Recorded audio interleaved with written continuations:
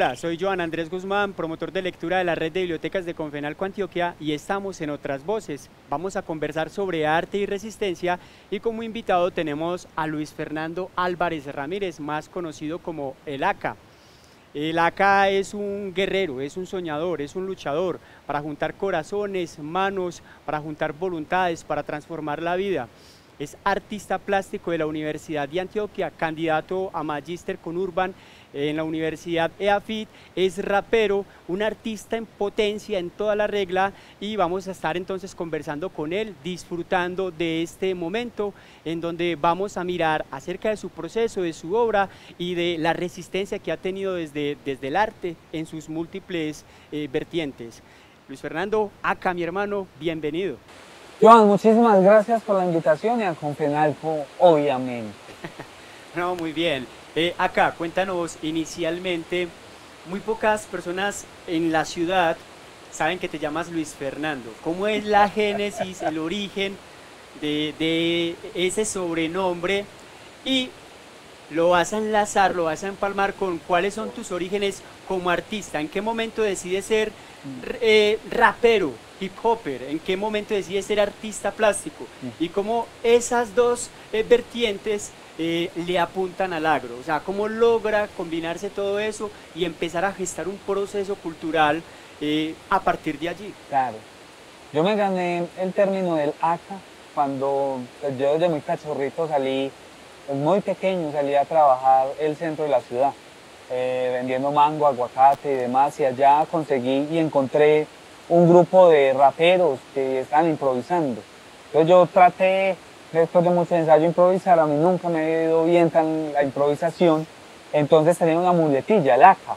O sea, ACA, repetía una vez y otra y me pusieron el ACA. Luego ese AKA que se ha convertido como, desde los 13 años realmente, hasta mi madre me dice ACA, ¿cierto? Me dice, me dice ACA, eso ya, ya es mucho y los amigos y, y toda la gente pues como el ACA. Y ACA es, más, es como más conocido como es el AKA, ¿cierto? Entre ustedes, porque todo lo he hecho con la gente en los territorios. A mí siempre me ha gustado caminarme en la ciudad, siempre me gusta mucho lo que llaman la calentura, los barrios que están con mucha guerra, mucho enfrentamiento, hay muchos problemas y a la gente le da miedo subir o caer a esos lugares y a mí me gusta, siempre me ha gustado como esa ladera. Y es básicamente porque yo crecí en ese contexto donde termina como una 13 en Medellín y empieza San Cristóbal. Y ahí, digamos, empecé como a trabajar todo este tema eh, de decir cómo junto la agricultura con el hip hop. Y un grupo de señoras que fueron las que me dieron la luz verde ahí para estar con ellas, que fueron siete, esas mujeres muy tesas, defendiéndose frente al tema de la escombrera, que tienen más de 300 desaparecidos, arriba en la 13, estas mujeres me enseñaron de nuevo a sembrar y a enamorarme de la tierra y demás en tiempos donde los paracos estaban matando a mis amigos. Yo en menos de tres años enterré a 23 de mis amigos con los que había nacido. Entonces siempre era entre la violencia, entre la siembra y demás, y eso como lo mezclaba con hip hop. Entonces, en esas búsquedas era una de las doñas me dijo, acá vos te imaginas la carátula tuya del CD encima de un cultivo de lechugas, así acostado. Yo decía, no, eso no, porque es que el hip hop es más calle y, el paisaje es más tierra. Y, entonces en esas búsquedas era, obviamente, cuando uno va por la calle, ¿cierto? Uno ve las plantitas que nacen en medio del asfalto y demás, entonces uno dice, claro, obviamente pues es algo obvio, pero bajo la calle tierra. Y el hip hop como es calle y viene de Nueva York y demás, cuando pasa a Latinoamérica se tiene que impregnar de mucha tierra y muchos de esos lenguajes campesinos, de los nuestros, del territorio, de cómo nos relacionamos, de cómo hemos construido países en medio de tanto conflicto. Y obviamente decir que si el hip hop es calle, debajo de la calle tierra, y la tierra contiene nuestra historia, nuestras memorias y nuestras luchas y básicamente somos de aquellas plantas callejeras que se resisten a que les echen cemento y el cemento es el olvido. No, acá bellísimo eso que nos cuentas, hermano. Eh, nos quedas debiendo un pedacito ahí, es como las artes plásticas viene a nutrir y alimentar eso tan bonito y tan interesante que nos cuentas. Había una doña que me decía, usted tiene que estudiar, o sea, usted tiene que entrar a la universidad y usted tiene que formar. Yo decía, son para nosotros no, o sea, no había nadie de nosotros de nuestra generación que haya salido y entrado a la universidad. Entonces yo les decía, no, eso está muy lejos, ¿cierto? Entonces se me llegó la oportunidad de hacerlo y fue por azar, ¿cierto? Cuando entro a la universidad aprendo, digamos, del lenguaje artístico y demás y me pego una enamorada, obviamente. Y de ahí, pues es como lo académico también va nutriendo y entender otros movimientos artísticos, otra gente que ha pensado. Y a mí me gustaba mucho el tema de la agroecología. Y hay algo que ha juntado el arte latinoamericano, que es el derecho a la tierra que no hemos tenido nosotros. nosotros somos más de 50 millones de habitantes en Colombia y cada uno tendríamos el derecho a una hectárea de tierra. Una hectárea es una cantidad interesante pero en este país no, ni en Latinoamérica. Hay una concentración del poder y de la tierra. Y muchas de las fuentes eh, artísticas y demás en ciertas épocas han nombrado eso de distintas formas, a través de la pintura, a través de la música, o sea, distintas cosas eh, desde lo plástico. Y ahí fue donde me dije, ah, esto tiene que ver con lo que a nosotros nos gusta, irlo integrando ahí y adicionalmente pues tener a mentores, gente muy importante en esta ciudad y en este país que lo van llevando a uno también por ese camino. No, muy bien acá. Eh, mira que dices una cosa muy bella, es tu filosofía que has construido en tu proceso y es el hip hop es calle, pero aquí en nuestro territorio debajo de la calle hay tierra y la tierra contiene nuestra historia. Y continúa por ahí. Eh, háblanos un poquitico de a partir de esa filosofía qué procesos has construido, eh, los más emblemáticos, eh, tienes por ahí varios, incluso que han sido internacionales, cuéntanos un poquitico de ello, además porque esto ha recogido colectivos, comunidades, ha resonado en otras esferas, en otras latitudes. Háblanos un poquitico de, de qué procesos se desprenden a partir de esa filosofía tuya. Bueno, pues una filosofía mía, ¿cierto? Es yo he creído que No, lo que las doñas te dijeron. Eso de las doñas, sí. Obviamente, pero hay un trabajo ahí que es el contexto. O sea, el arte contextual, el arte del territorio. Yo siempre he creído que nada nos pertenece. ¿Cierto? Ni la misma tierra donde estamos porque estamos destinados a volvernos tierra. Y con esa idea yo, nosotros hemos creído, ¿cierto? Que es necesario gestar procesos comunitarios y haciendo arte. ¿Cierto? que se vuelvan obras artísticas. ¿cierto? La acción performática, por ejemplo, ¿qué es? Es volver algo, algo que tú haces repetitivo, ¿cierto? Para mostrarlo. Y entonces, a partir de eso, construirlo a muchas manos, a muchos pensamientos y meterlo interdisciplinar.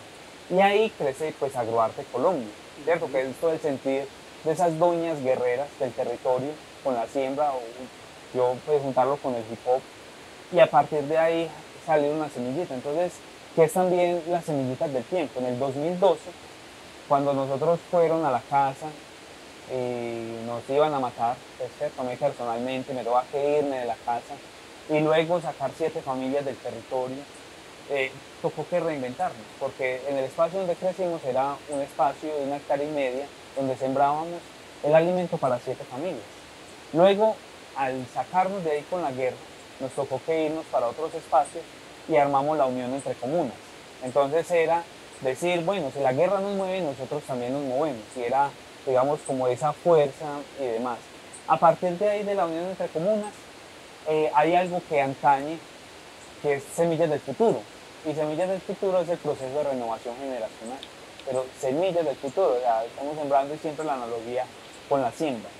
Y digamos que actos políticos en espacio público, nosotros siempre hemos acompañado la acción de desaparición forzada, porque al frente de las combreras donde crecimos hay más de 300 desaparecidos, mucha gente buscando a sus seres queridos desaparecidos, ¿cierto? Y el homicidio también es una parte muy propia nuestra de cómo ir acompañando ese proceso. Y hacemos cuerpos gramaticales, que es una acción performática que se ha hecho 17 veces aquí en Colombia en distintas partes del país y dos veces por fuera del país, ¿cierto? Con otros conversos. Entonces invitamos a más de 100 personas a sembrarse durante 6 horas para hacer su catarsis eh, de ese dolor, ¿cierto? De ese sentimiento, de ese eh, sentir y poder acompañar, digamos, sus procesos de duelo. Y en un país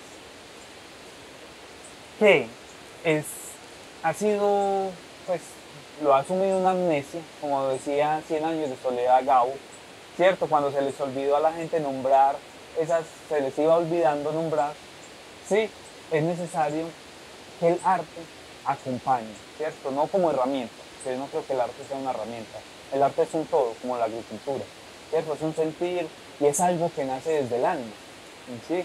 Y entonces, a partir de eso, parar un momento y preguntarnos qué nos ha pasado como sociedad.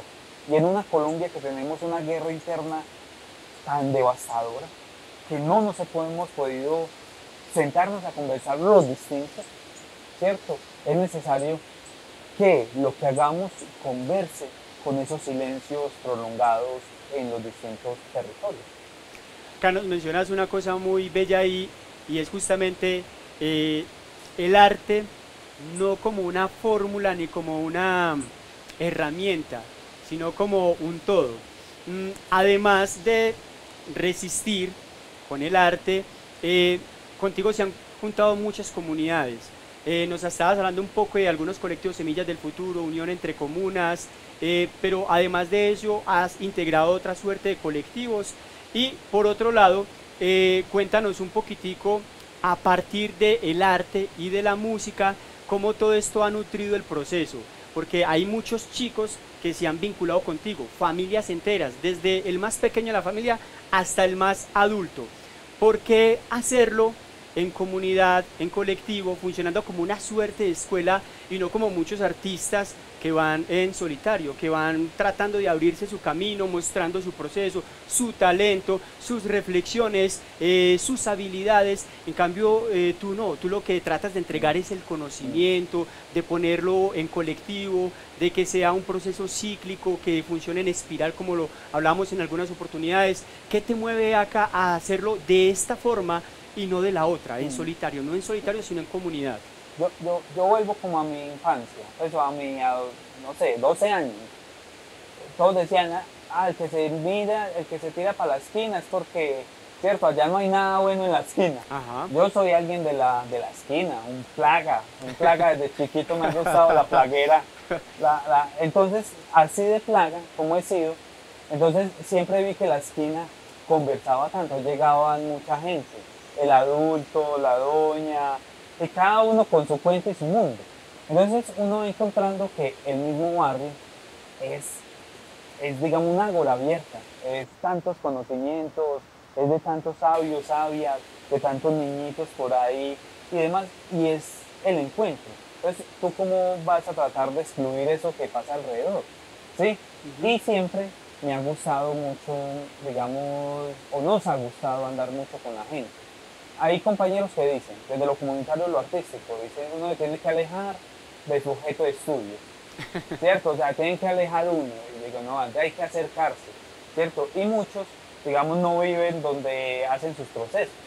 Nosotros nos gusta vivir, donde tenemos procesos es que estamos viviendo ahí, ¿cierto? Como estamos con la gente, y muchos dicen, no nos gusta eso porque es que el sitio privado, pero no es eso, aprender a, vivir, o sea, cómo comemos, comer lo mismo, cómo compramos, cómo nos movemos en transporte público y demás, ¿cierto? Entonces cada rato, y siempre irnos a la frontera, donde hay unos calores muy buenos, entonces siempre la frontera, urbano-rural, la ladera de la ciudad, y a partir de eso te da otros conceptos y otras construcciones. Y claro, y una señora, porque en cada barrio que tú te muevas siempre tienes que pedir permiso, o al actor legal o ilegal. Nosotros hemos dicho que con el Partido de las Doñas, que es la colectividad de 900 doños y doñas que hemos acompañado a nivel de la ciudad en la ladera, eh, ellos nos entran. Entonces nos entran, eh, no, en la casa, en la cuadra, y hacemos nuestros procesos ahí en el espacio público, donde todos los ven.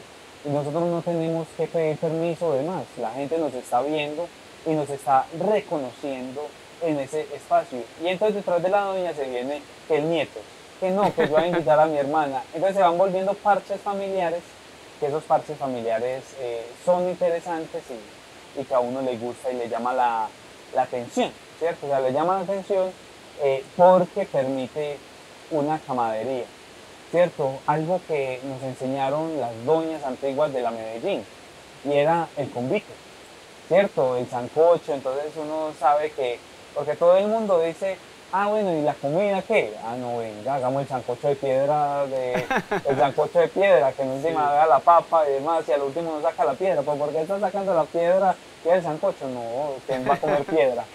Entonces el sancocho se hace entre todos y todas. Y así mismo es la vida. La vida es el arte y la vida misma es la agricultura. Entonces, tú juntas esos elementos y eso solo, por sí solo, sin la gente, va a ser muy jodido hacerlo. O sea, es como hablándole a un mundillo allí chiquito y demás, pues no les estaba hablando a la gente, tuya, y de dónde viene. Acá, todo eso que tú dices es bellísimo y suena muy fácil. Hacerlo seguramente no va a ser tan sencillo. Mm. Y has movido en territorios de seguridad social compleja. Eh, ¿Qué dificultades has tenido en estos espacios? Es decir, ¿qué resistencia has tenido como por la otra parte? Eh, tú generando una resistencia frente a el olvido, el abandono, frente a muchas situaciones de la violencia, pero te acercas a esos mismos escenarios, ¿qué dificultades has tenido? Sí, nosotros hemos decidido subir el coste político. Que lo asesinen a uno es lo más fácil de hacerlo, ¿cierto? El homicidio es muy fácil de ejecutarlo pero el costo político que podemos subir en acompañar familias, en crecer esas familias, ¿cierto? Porque hemos visto que, por ejemplo, la cultura homicida que tiene la Medellín es una cultura que en su gran mayoría llega a núcleos más pequeños. Si nosotros rebustecemos el núcleo familiar, que no solo la familia sanguínea, sino la familia más grande, vamos subiendo el costo político. Y alguien que nos quiera hacer daño, pues lo estará pensando ahí, tanto del actor legal o ilegal, ¿cierto? Porque a mí me ha sacado de los territorios el actor legal, ¿cierto? Que ya es jodida la cosa. Y las presiones que tenemos en algunos municipios es el actor legal. Entonces uno dice, aquí está pasando algo, ¿cierto? Eh, pero digamos que nosotros, ¿quiénes son las superheroínas para nosotros? Las doñas. Las doñas no nos dejan que nos toquen. Claro Una mamá le dice, ni por el putas me va a matar a mi hijo, ¿cierto? Primero sobre mí. Y lo defiende y lo saca. Y es la señora y ahí, ¿cierto? Que es como la mismísima virgen y demás. Entonces, gracias a ese respeto de la comunidad, del espacio público y, demás, pues nos hemos ganado un nombre en los territorios. Y, por ejemplo, uno cuando llega con todo su combo, ahí vienen los raperos. O, sea, o ahí viene el profe, o ahí viene, ah, no, ahí viene la doña entonces, a ellos les gusta, ¿cierto? Y porque hay dos cosas que para uno trabajar en la cultura en la Medellín es dos cosas que no hacemos nosotros. Nosotros no dañamos negocios ni sapeamos, ¿cierto? Nuestras luchas están en otras cosas, ¿cierto? En una memoria, en una construcción comunitaria, en que se rebaje el tema del homicidio en los territorios, ¿cierto? Que no hayan las fronteras invisibles, ¿cierto? Y eso hay que irlo caminando con la misma gente de los territorios. Pero adicionalmente, con el mismo Estado, nos toca que formar a nuestra gente en las laderas de, de la ciudad, ¿cierto? Para que tengan criterio, tengan un sentimiento por el territorio y lo defiendan. Porque en última, a lo que venimos nosotros es la defensa del territorio. Y defender el territorio es defender la vida y es defender también, digamos, las relaciones y, y las interacciones en los distintos lugares. Excelente. Acá, mira, tienes un proceso de varios años, nos hablabas ahorita del año 2002, donde surge todo. 2012, eh, otro momento importante. A este momento, mira, eh, estamos en el 2020, ¿en qué está actualmente tu proceso como artista, como gestor cultural, como gestor de la vida eh, en los territorios, dinamizando procesos y has trascendido fronteras? has mirado a otras latitudes, has ido a Norteamérica, Centroamérica, a Europa, al viejo continente, por allá. Eh, ¿Qué experiencias gratas, significativas, en qué ha nutrido tu proceso el hecho de relacionarte con esas otras gentes pero al mismo tiempo de relacionarlos con eh, nuestro territorio y nuestra gente, pues la gente que hace parte, por supuesto, de tu proceso artístico. Eh, cuéntanos un poco acerca de eso. Sí, yo creo que todo está junto, ¿cierto? Digamos, hay muchas cosas que son juntas.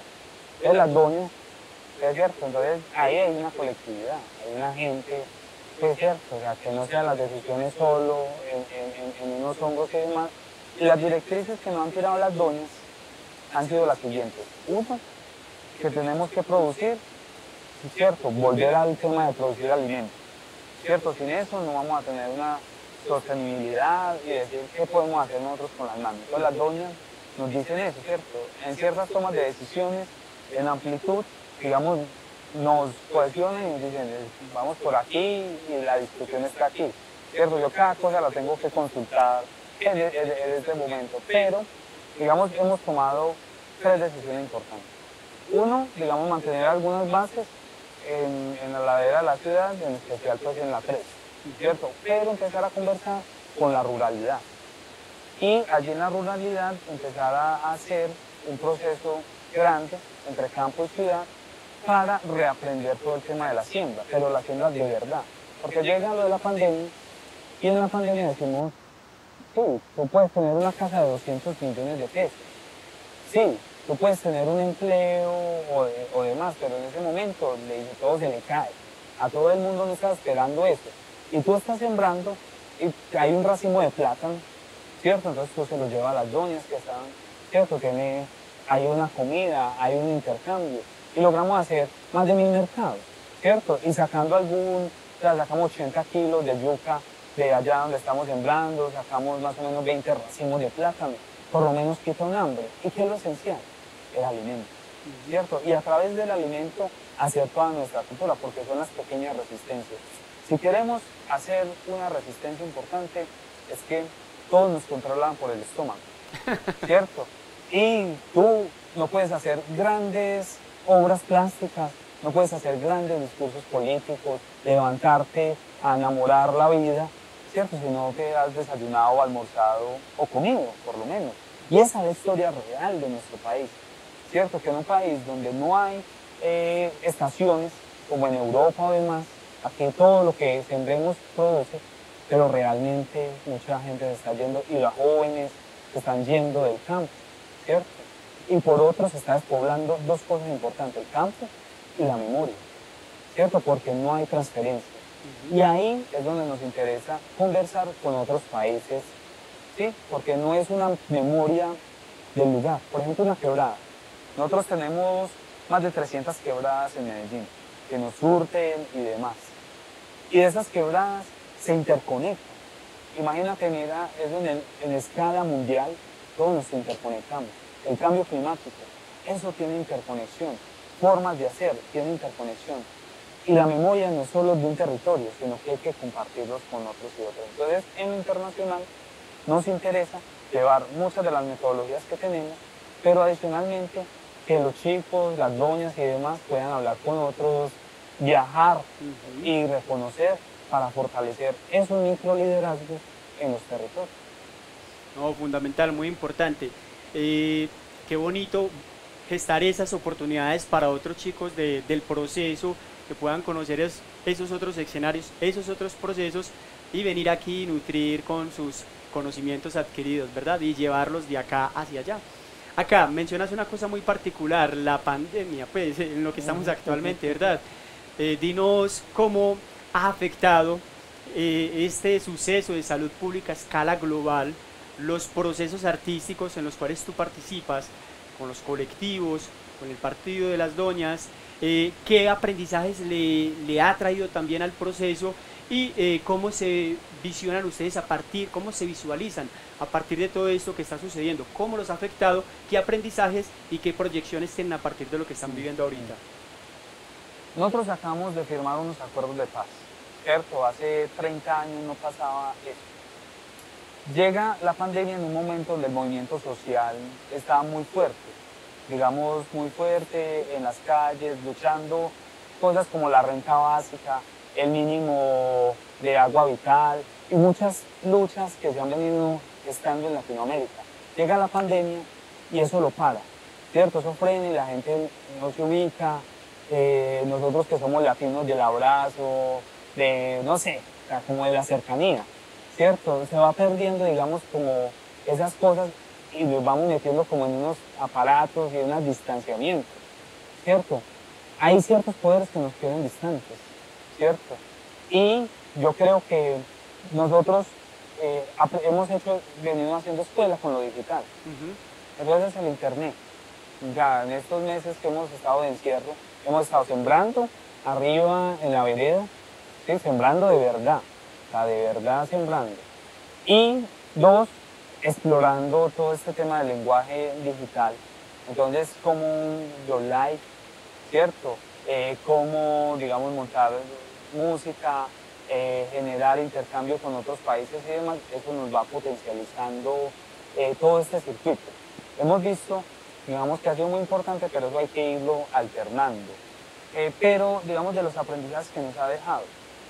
Muchos de nosotros estamos teniendo unas aspiraciones muy grandes de tener unas bases, eh, digamos, eh, sedes. la sede arriba en la Cruz, la sede en Alto de la Torre, la sede en Granizal. Estamos trabajando eso para que fuera como un circuito y una cadena que surgiera. Eso requería mucho tiempo. Y, digamos, fortalece el proceso educativo como casas culturales en los barrios y demás, pero eh, nos embolacaba de un tema importante, que era el tema de la agricultura, ¿cierto? Y nosotros queríamos, en esto decimos, hay que sembrar. Entonces lo que nos ha direccionado, hay que sembrar y a partir de la siembra, el cuidado del bosque, de la siembra de hortalizas, vamos a hacerlo. Entonces ese es el camino. No, extraordinario acá. Una pregunta, que la hago a propósito en este momento y no al principio, porque yo creo que eh, la vienes respondiendo pero tiene, tiene una intención específica. Acá, ¿qué es arte? Si no referencia a la lucha. el que es arte si no sirve a la comuna. Exacto. El que es arte, expresión de mi cultura, calles, aromas, experiencias vividas. ¿Qué es arte? Yo creo que el arte, cada uno, yo creo que nosotros le decimos, hay que reaprender a dos cosas. A cultivar.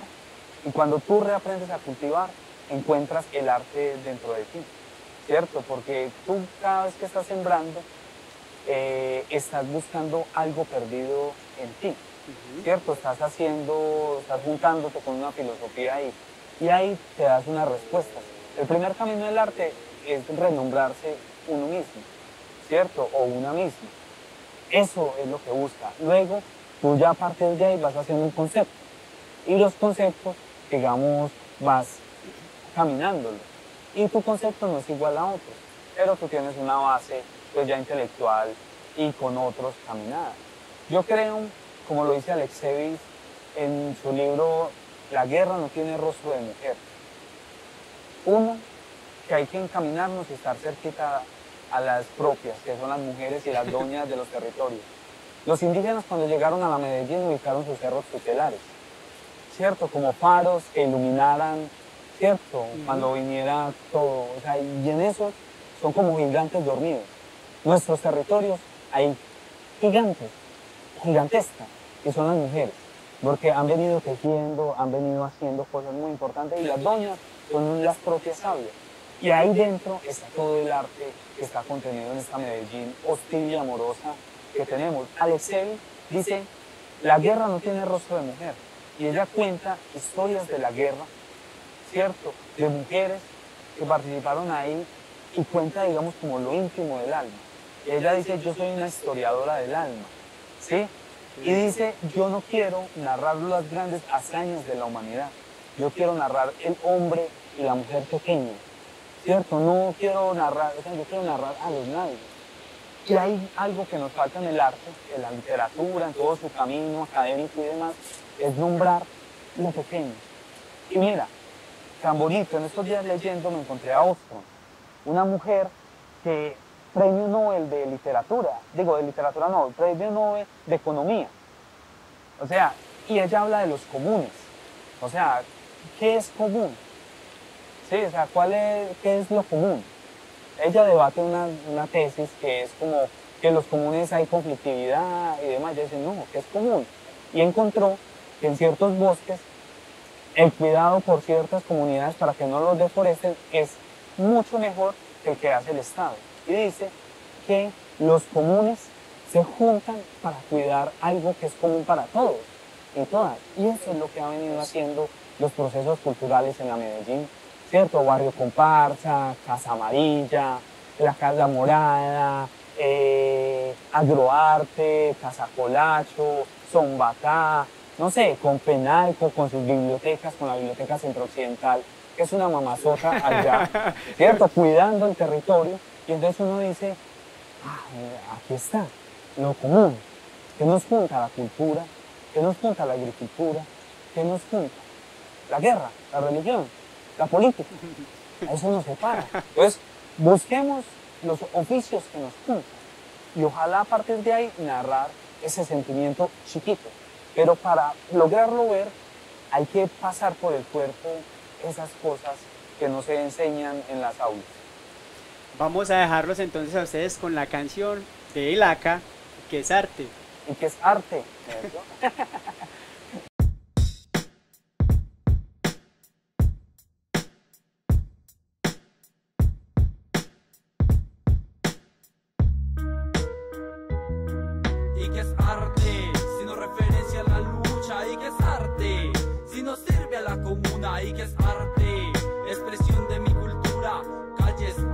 aromas, experiencias vividas y que es arte, sino referencia a la lucha y que es arte, si no sirve a la comuna y que es arte, expresión de mi cultura, calles, aromas, experiencias vividas, horas oscuras de nuevo transito, calle de doble sentido no he recorrido, ese viaje será largo. Encontrar evidencias, buscan, no encuentran respuestas.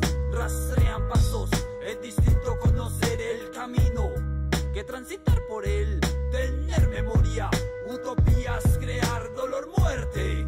También transitar producto no de libros y academias que fastidian sin llevar nada del mundo. El mundo da respuesta, decisiones de vida con lo cotidiano es rutina. Atraviesa detener la existencia. Se fragmenta por no poder inmortalizar el legado. Cuando las fieras acechan, no hay recetas. Ser francos, con la mirada en el cielo y los pies en la tierra. Y que es arte, sino referencia a la lucha. Y que es arte, si no sirve a la comuna. Y que es arte, expresión de mi cultura. Calles, aromas, experiencias vividas. Y que es arte, sino referencia a la lucha. Y que es arte, si no sirve a la comuna. Y que es arte, aromas, experiencias vividas. Idioma universal de creaciones exactas. Conceptos, sentimientos, acciones. Marcan otra vez Ale. Entra la locura, acecha fija, recupera la vida, su percepción se agudiza, su cuerpo mente piensa con el diablo dentro del mundo despierta del arte, no conoce respuesta. Porque el arte es producto de las mentes inquietas, secuestrado por emociones,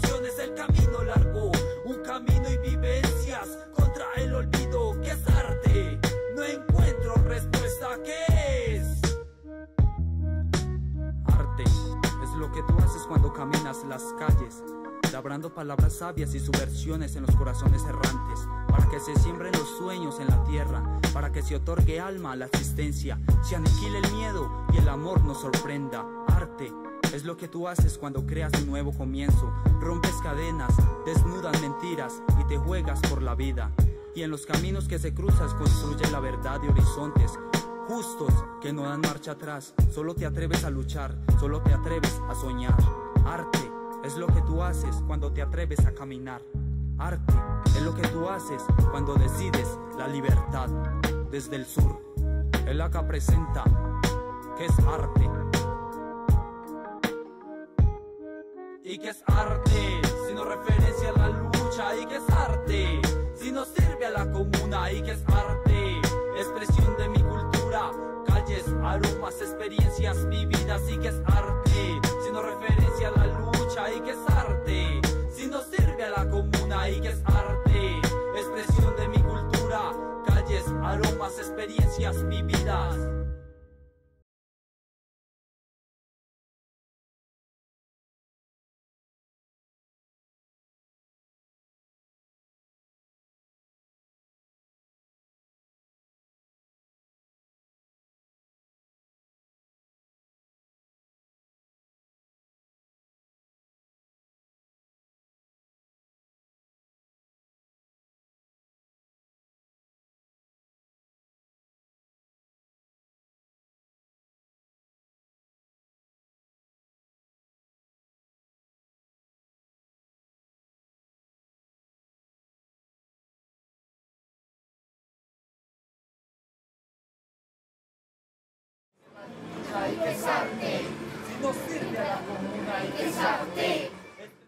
Muy bien, eh, esta canción acá fue un gran hit para ti. Eh, tú has comentado por ahí que no has logrado hacer una canción que logre equiparar eh, la importancia y digamos el alcance y la acogida que tuvo dentro de la gente que escucha tu música. Eh, dentro de los procesos musicales que tú has tenido, además de todo lo que has trabajado con el agro, de todo lo que has trabajado con los colectivos, ¿cuáles son tus aspiraciones tuyas como rapero? Eh, has trabajado rap con, con, otros raperos también, ¿verdad? Has hecho rap eh, con colectivos, con agrupaciones, pero tienes un proyecto como solista. Mm. Eh, ¿En qué está en este momento y hacia mm. dónde va? Claro, hay una filosofía que nace de agroarte, que es hip hop agrario, ¿cierto? Y es el único movimiento de hip hop, ¿cierto? Que junta la agricultura. O sea, no hay otro, no hay otro movimiento eh, como este que junte el hip hop y la agricultura. Eh, yo creo que cada vez en esas búsquedas de hacer nuevas canciones y demás, tiene que nombrar eso que decía Alex ¿sí? que era narrar la cotidianidad, la historia, lo que hemos vivido, ¿cierto? El reportero del barrio, el reportero de la vereda, ¿cierto? El de la trocha, el, nadie, ¿cierto? El que nadie, nada ha tenido. Y por otro lado, que esas letras suenen tierra y que el sonido, ¿cierto? Que ese de cuatro tiempos y demás suene también a tierra.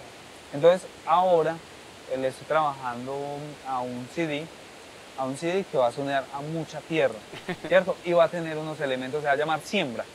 Y en la siembra, ¿qué es lo primero que hay que hacer? Desalambrar. ¿Cierto? Hay mucho alambre por ahí de grandes terratenientes y demás, hay que desalambrar. Dos, hay que arar la tierra, ¿cierto? Para poder sembrar nuevas semillas.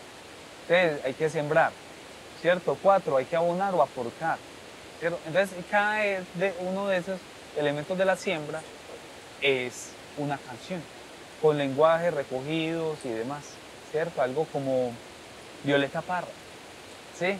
que recogía músicas y canciones, ojalá, pues no creo que vaya a llegar hasta allá todavía, pero sí es la idea, ¿cierto? Como el hip hop o sea, va teniendo como nuestro sentimiento latinoamericano. Por supuesto. Y que obviamente, porque es que cuando uno tiene voz, en todo este proceso, cuando gente te escucha, hay una responsabilidad que es también la sinceridad.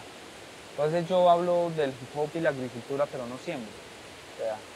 O, digo mis canciones cosas que no son, o sea, es como mm, cosa de hechizas, no entonces hay que transitar eso, porque en últimas esa es la creación artística. Entonces ahorita va mucho como en, esa línea y en esa idea. ¿Cuántos álbumes musicales eh, has creado tú? Ya, eh, voy para el sexto. Para el sexto. Para el sexto, para el sexto más o menos 300 colaboraciones también en música y demás. ¿sí? O sea que has tenido una presencia muy importante dentro del escenario eh, del hip hop en Medellín. Pero del hip hop guerrillero. del rap. Ah, guerrillero. Del hip hop guerrillero, porque no me presento a los grandes festivales o, demás, sino que yo nunca, por ejemplo, monetizo mi música, ¿cierto? O en esos días que me tocó que montarla que a Spotify o demás, eh, dije porque a la gente le llega más fácil, pues, pero más que por la idea de monetizar o demás. no o sea, que le llegue, que sea circulación de la música que se regala o demás, para que, porque es que realmente esa es la memoria rapeada del proceso de agroarte. O sea, todo lo que hemos hecho con la canción con los chicos, los himnos que ellos hacen en los barrios, Barrio La Cruz o Altavista, ¿cierto? Es la memoria escrita del proceso. Y es la memoria escrita también en últimas de los barrios de ladera. Guerra de guerrillas, defínenos ese concepto, lo estabas ahí como entre líneas mencionando, pero ¿de dónde viene eso? Hay una ACA, guerrilla, eh, guerra de guerrillas, es un concepto muy marcado dentro de algunos de tus álbumes, de tus canciones, ¿de mm. dónde viene todo esto? Sí, no, en, lo último era, pues en el inicio, era porque creía que, digamos, en lo musical eh, siempre, o lo artístico es coadaptado ¿cierto? Tener un término de ese calibre, que para aquí en Colombia eso suena distinto, que para Europa, que también me trajo pues muchas desavenencias por ahí con el mundo paramilitar, eh, pero que fue, que fue, digamos, la forma de que no coaptaran eh, lo artístico, ¿cierto? Que tirara una línea. Eh, en las grandes literaturas se dice que el guerrillero antes de ser guerrillero se es agrario, se es campesino, ¿cierto? Y en últimas abona y siembra para su gente, ¿cierto? Y en últimas es lo que hacemos. O sea, vivir, resistir por medio del tema de la siembra y el agua. Perfecto. Acá, ¿qué es el cartel de los piecitos? Y eh, háblanos un poco después, para que lo enlaces, con cuadros verdes vivos, que es un concepto, eh, un proyecto artístico muy grande que vienes eh, fraguando, trabajando, conceptualizándolo, ¿cierto? y entre cuadros verdes vivos y ya lo que habías hecho, que nos estabas mencionando ahorita, que fue un proyecto artístico muy grande, eh, ¿me recuerdas por favor el... Eh, donde la gente se siembra, se me escapó. cuerpos gramaticales. Cuerpos gramaticales, muchas gracias. Eh, más o menos, ¿qué diferencia había entre, ah, habría perdón, entre estos dos proyectos? ¿Cuál sería como el componente nuevo que tienes aquí? Ajá. Cuando entra la pandemia, nosotros pues teníamos algo como por ahí que era lo de los, el intercambio de piecitos. Sí. ¿Cierto? Entonces siempre nosotros nos han reconocido como eh, en los carteles, ¿cierto? Entonces las series de Netflix, o sea, las series de Netflix, cuando vamos a Europa, entonces a Pablo o a México o demás, entonces siempre es como el cártel, ¿cierto? O el cártel de Sinaloa o el cártel, eh, los distintos cárteles. Es un concepto, un concepto que tiene eh, una, una acepción muy oscura. Ya más o menos veo por dónde Entonces es un, juego, ¿cierto? Entonces el cártel de los piecitos es el cártel más antiguo de la humanidad. Y la gente, digamos que nos está escuchando, piensan en, cuando piensan en una planta, piensan eh, de pronto en alguna medicina que le dio su abuelo, su abuela. Y hay una práctica de nuestras mamás que eran llegar y coger un piecito o un esquejecito, robarse una plantica de la vecina o demás, y ese es el cártel, y ese es el más antiguo de la humanidad. Realmente gestado. Si yo quisiera pertenecer al cartel de los piecitos, ¿qué tendría que hacer? ¿Cómo hago para vincularme? Sí, con el cartel de los piecitos, básicamente es que decimos, vamos a llenar de vida terrazas y balcones. Es como la gente en su espacio privado puede sembrar, ¿cierto? Pero tenerle el sentido. Y muchas personas digamos, lo que termina cuando hacen cosas con la siembra, piensa en lo utilitarista que puede ser. O sea, una lechuga, ah, sí, yo siembro una lechuga para comer. Ah, yo siembro una ruda, ah, para que me cuide. Ah, yo sí.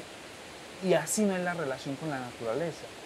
Es muy cierto, o sea, porque es que hay una investigación que hizo un ruso, eh, o sea, científico, científico, una investigación científica que le dio el nombre a un libro, La vida secreta de las plantas.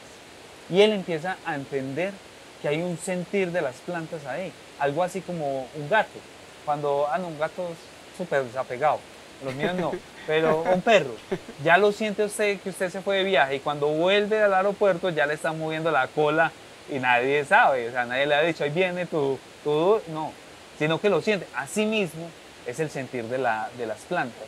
Entonces, el cartel de los piecitos es que puedan pasar toda esa historia nuestra de las plantas, ¿cierto? Por su jardín personal eh, también. ¿Y cómo es? No? Ahí tenemos unos, eh, unos grupos en Facebook, en WhatsApp y demás donde los podemos invitar. Y eso juntándolo, digamos, con cuadros verdes vivos, es decir, tú cómo puedes tener un museo en casa con las plantas. A jardinería. El concepto que nosotros estamos tratando y que estamos explorando en este momento es que nosotros podemos nivelar, ¿cierto?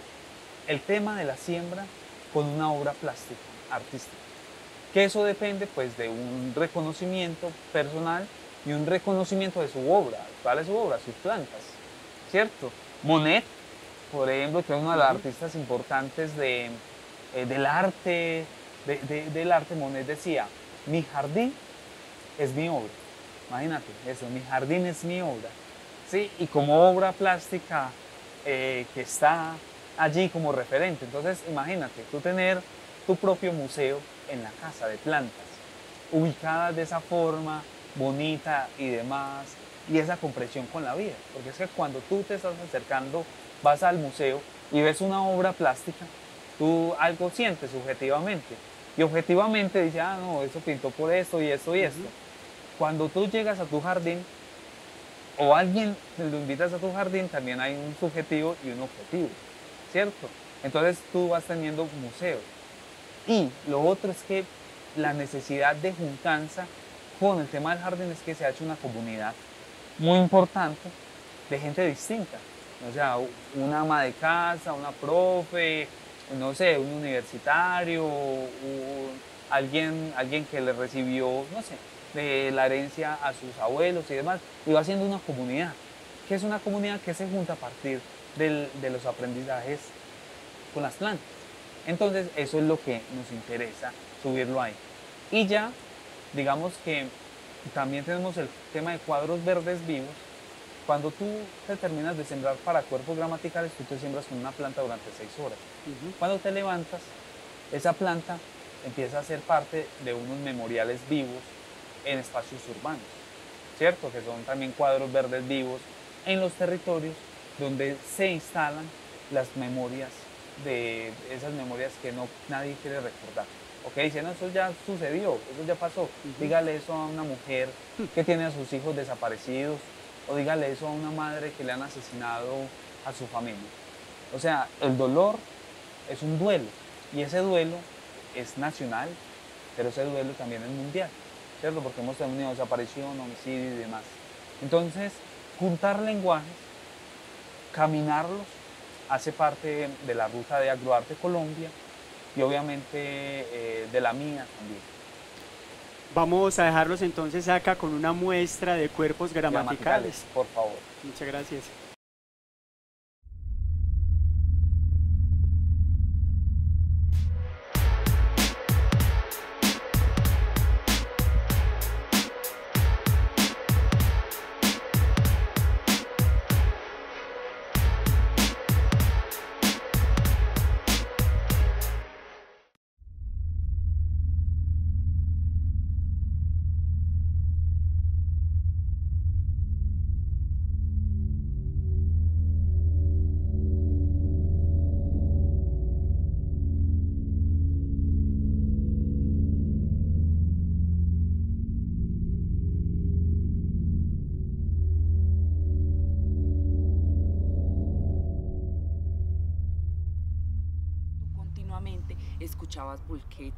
Retroexcavadoras, sierra, motosierras, escuchabas los gritos de la gente. Nosotros sabíamos que allá también estaban tirando personas, sabíamos que allá estaban poniendo a, a las personas a cavar sus tumbas.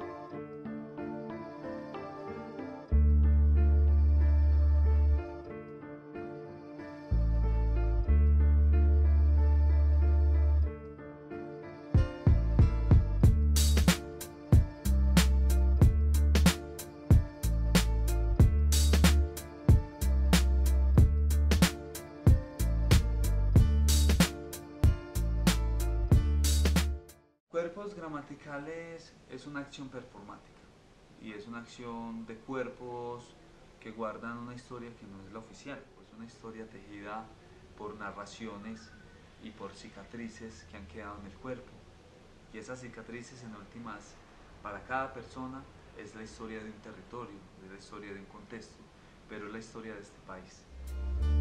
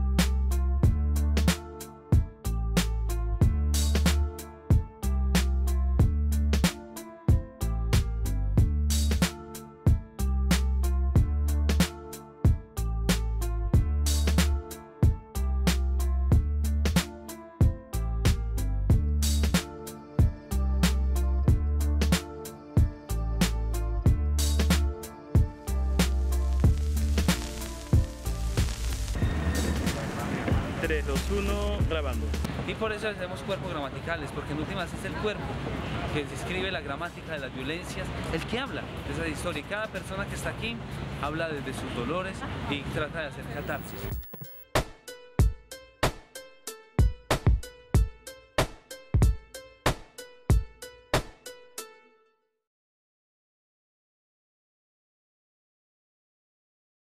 Acá nos vamos acercando al final, hermano, de estas reflexiones tan interesantes que nos dejas alrededor del arte y la resistencia, del arte vivo, porque lo que tú haces es eso, es el arte viviente, eh, involucrar comunidades, corazones, fuerzas, sueños, eh, construir procesos.